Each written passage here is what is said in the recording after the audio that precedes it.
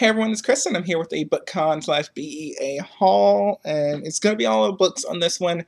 Um, I could do one with like the tote bags, the posters, the bookmarks, the things, um, but I'm not going to. I'm just going to do books on this and show you what books I got and what book I got signed because I brought some books to get signed, which is probably where I'm going to start with because the main person that I was wanted to see and the most important thing for me going into BookCon was to meet David Levithan and have him sign some of my books. David Levithan's books uh, were very important to me when I was in high school. Boy Meets Boy and Realm Possibility was, um, and then Will Grayson, Will Grayson was when I read it in college as well. So yeah, his books has always been very important for me um, as I was growing up, and I've never met him before, and so I was super excited to get the opportunity to finally meet him and also get some of my books signed. So I got my high school book that I've had since high school, Realm Possibility um, signed by him, and it was signed to me, and I'm really excited about it. And then Will Grayson, Will Grayson, I got signed to myself and my boyfriend Aaron. Uh, he signed it to both of us, and so yeah, he signed it to Aaron and Chris, and I was super excited that uh, I was able to do that, and Aaron was really happy about it because Aaron likes David Levithan a lot too, so. I, that was like kind of my main person that I wanted to see. It was like if I could do anything, like the first person I got in line in for an autograph was David Levithan, and I knew I was like, I'm getting there. I need to get that. Don't care how much my feet hurts. I'm getting here. um, and he, and he also gave out galleys during that signing as well. And so we got the 12 Days of Dash and Lily, which is a sequel to Dash and Lily's Book of Dares, which I listened to on audiobook. Decided to actually read this one physical copy, and he signed that as well. So super, super duper excited that I finally met him and just told him how much his book meant to me. I, I, very briefly because we had to keep going, but yeah, it it's like this is something I was really happy that I was able to do. Um, after that, oh, before that actually, um, the Property Brothers had their signing, and I went and got their book Dream Home. And I've already started reading this. I'm actually going to finish it probably in the next couple days because I didn't actually get this for me. I got it for my mom. My mom and I watch HGTV together all the time. We, uh, my mom, my sister, and I always watch HGTV together. And so we've watched all their shows and we just love their show. They're so funny. And their book is really funny too, like while being extremely informative. And I'm planning on um, getting married next year. We're getting married next year. And then after that, we're going to probably figure out uh, moving and housing things, and then we want to adopt kids. So this is very good book to kind of get information about the market, uh, buying market and what to look for when you're getting ready to buy your first house and all these different things like that. So I'm reading it, taking some notes, and then I'm going to give this to my mom's because she's super excited that I got it for her. She didn't even know I was going to get it for her. Um, so yeah, I'm like the best son ever right now. Anyway. Next, I'm going to go and grab this because it's right here. And this is a bunch of samplers from Image Comics, I think. And I've read all of this all, samples already.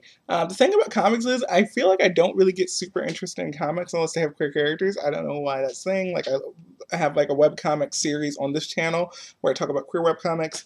Um, and I don't know. Snotgirl, not really feeling it that much. And the, the one story in here called The Throwaways did seem kind of interesting. It was like a sci-fi Cold War era type of thing with some scientifically enhanced humans. I'm just kind of like, okay, that one sounded a bit interesting, um, but I don't know. Okay, we're gonna go ahead and do some samples. Go through some samplers. We got the Carve the Mark sampler, Veronica Roth. I never actually read Veronica Roth's other series, the Divergent series, I think it is. I've never read that series. I watched one of the movies.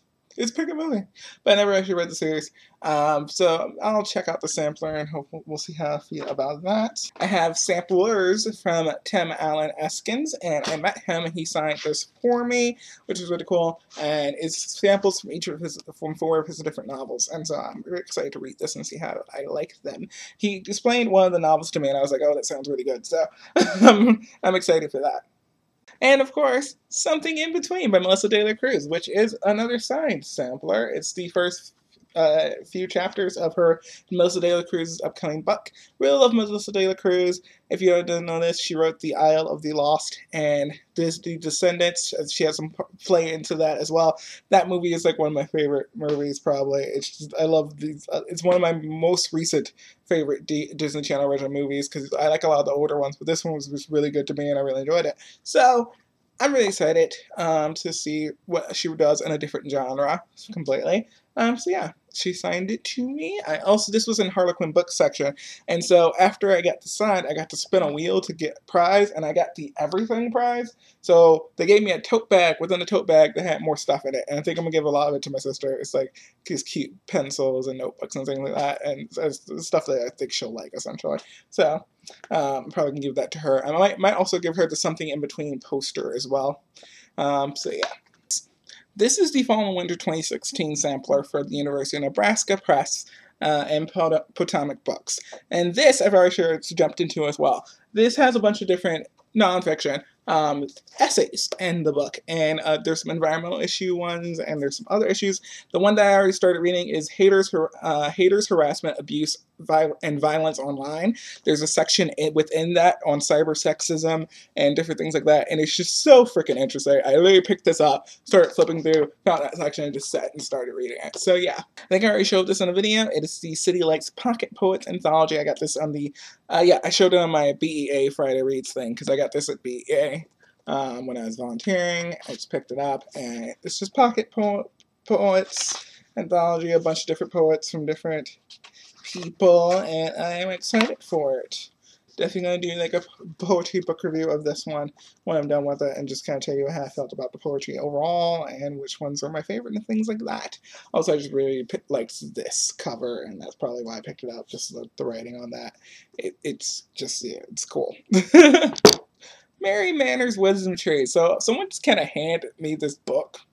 I think it's, I thought it was Christian fiction, which is not really my genre. So I'm probably gonna give this to my mom or someone in the building.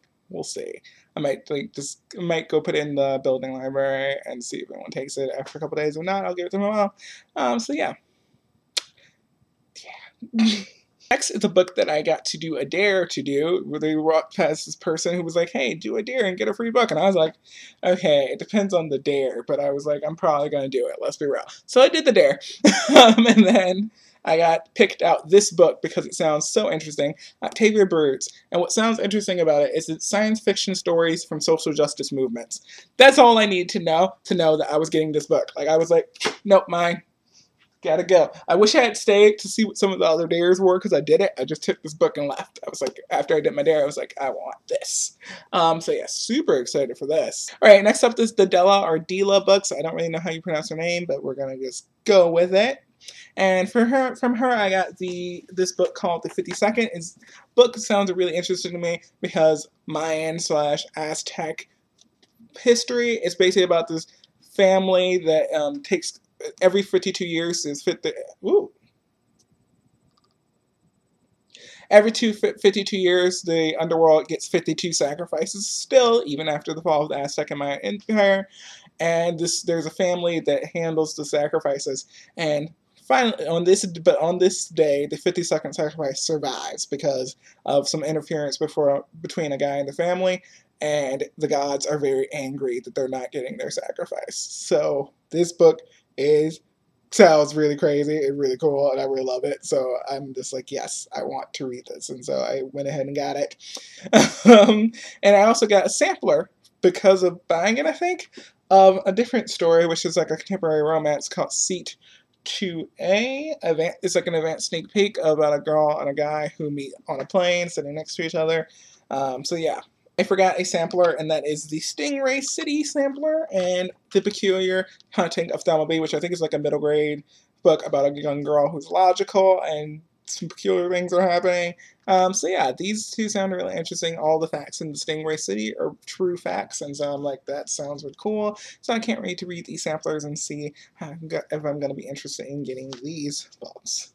And I got Kieran and Andrew by L.A. Gilbert. This is actually on my want to read list, and it was in their free book stacks. Like I've had this book, I, have known about this book, and I wanted to read it for a while.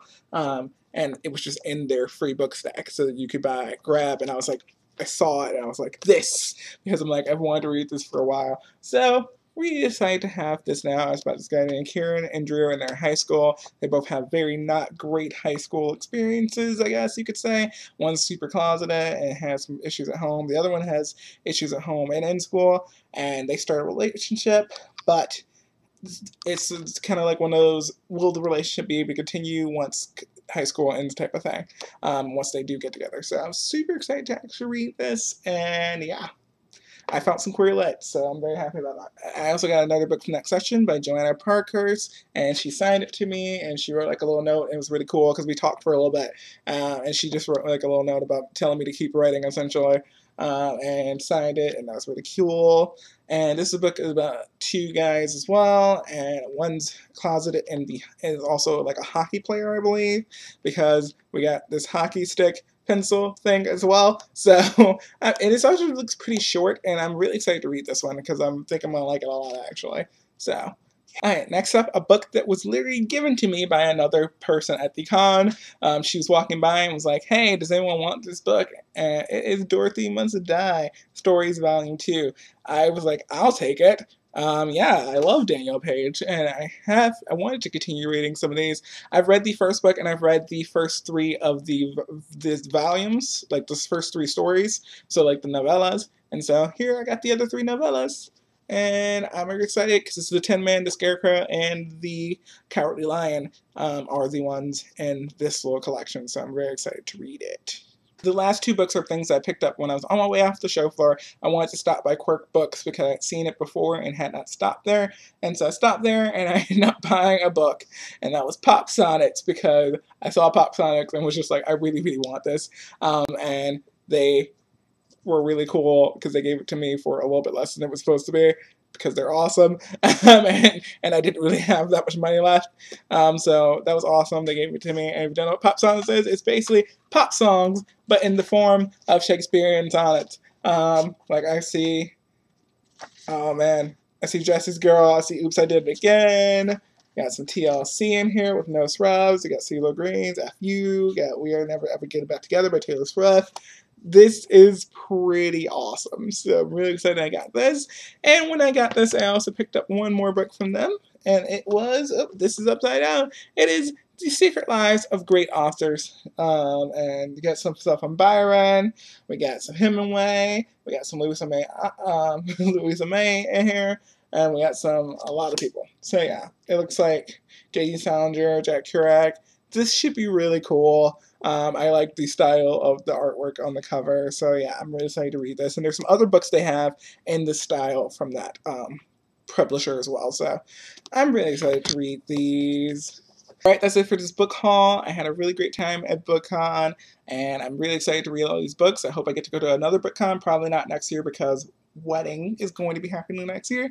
And um, but yeah, definitely hoping to be able to go again in the in in some one of the next few ones. Hopefully, um, hopefully the one after next year I'll be able to. Even if it is in New York, that'd be really cool because I've actually been to New York. New York, I've been to like outside places in New York, so that could be cool. I really enjoy that for sure. Um, but yeah, I am done. This video has probably been too long, so I'm just gonna say bye.